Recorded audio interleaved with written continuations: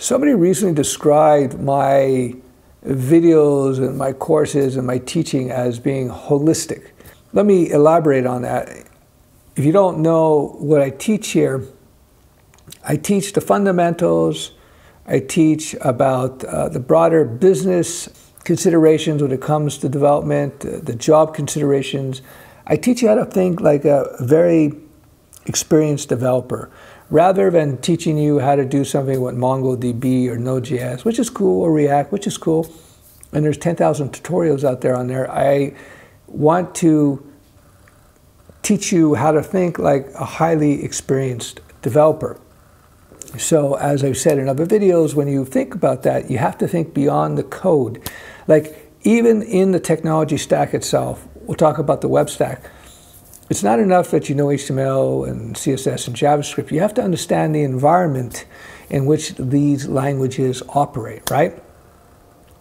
They don't operate in a vacuum, right? You know, these those three languages in particular, they're typically being used in the web browser. So what does that mean? You have to understand the way the web browser processes the code, how it interacts with that code. You also have to understand the broader internet and uh, the web. You have to understand how uh, code uh, shoots around the web, um, how, uh, how to write the code in such a way that it is uh, aware, if you will, or it is respectful, if you will, of the structure of the internet, right?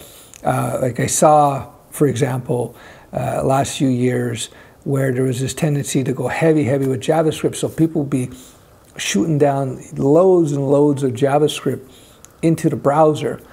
And, uh, and that caused problems. That caused problems. On the other hand, you have to understand the, uh, the latency, the issue in terms of how the browser communicates with the uh, web servers, which you have to contend with there, et cetera, et cetera. I can, I can go on and on and on and on and on and on. I know I'm being kind of high level here, but the point I'm trying to make, even within the context of just the coding, it's not just the coding.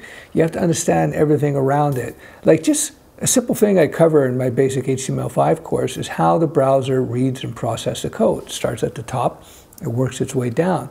This is important because you got to understand when you may want to uh, where you might want to put your JavaScript, where you might put your CSS, and how these things uh, work. So, for example, if you are uh, putting in uh, Google tracking code just for your analytics, you probably want to put it at the bottom of the page so you don't, so because that is non-crucial.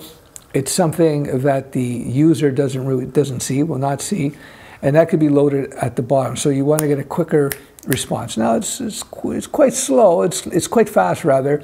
It's not a huge issue, but I'm just saying, just as an example, just knowing where to position your code in the page because you understand how the page is read from the top down is uh, important. It helps you with debugging as well. I see a lot of bugs, um, like especially in dynamic, dynamic uh, languages like um, PHP or uh, you know Ruby, uh, the way the code is processed also plays a role as well. A lot of bugs, like for example in PHP, a lot of errors has to do with people not understanding context, not understanding how the engine, the PHP engine, for example, as PHP as an example, how it processes code, and if you if you like doing making silly mistakes like declaring, not declaring a variable and trying to use it, right? You got to declare, then you got to use, that kind of thing. So again, this is all contextual type of stuff, really, right? It's not so much coding. Now, it goes way beyond that as well.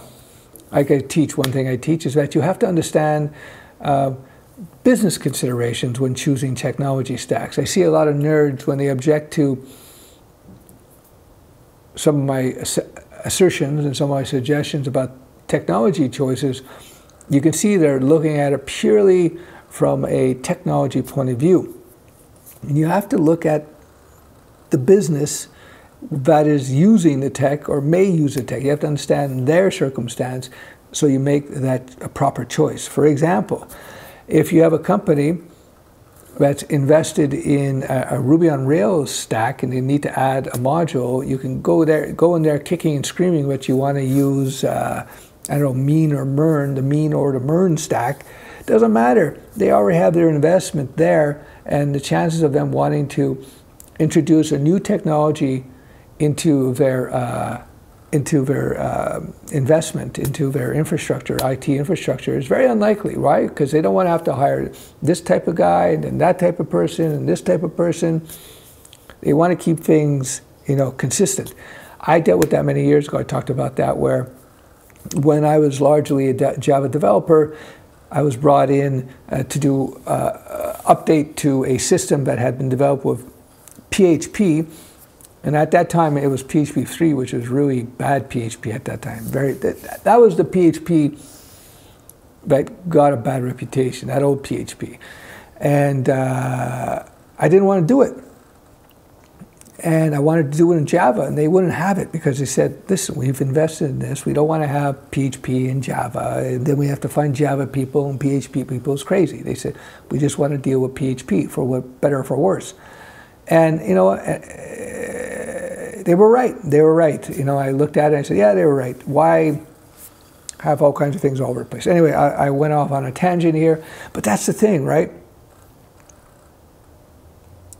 As a developer, you have to understand what some of the broader questions are and the broader considerations. You can't just be myopic in your thinking and say, and say, oh, this is the best stack, this is the best stack.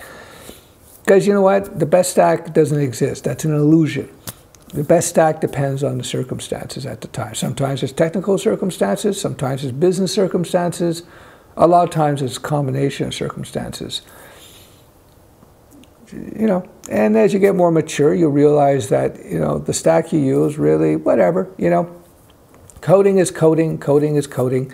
It reminds me when I was in my, uh, my first business, I was in the pet products business and I was import rare fish that public aquariums would buy from me and zoos for exhibits and stuff and collectors and pet stores.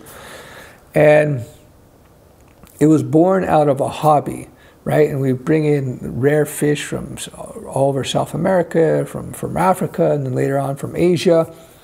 It was a lot of fun at first, right? Because it was, it was my hobby. Oh, you know, it's like if your hobby was, uh, I don't know, fancy cameras and you kept getting your hands on all kinds of new cool cameras, uh, then it's, it's fun, right? You're moving cameras. But what happens, though, what happened to me with my uh, pet product and my fish business is that after a while, I don't know, third or fourth year into it, I told people, you know, I got, you know, I had a warehouse, a warehouse full of uh, live fish and uh, products and stuff that when it was a hobby, when it was a hobby, this stuff was very fun for me.